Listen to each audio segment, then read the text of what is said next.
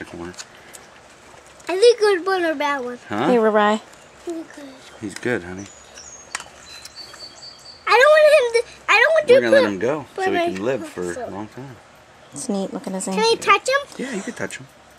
we gotta get him towards a little bit of oh, water and moisture. Okay? uh huh.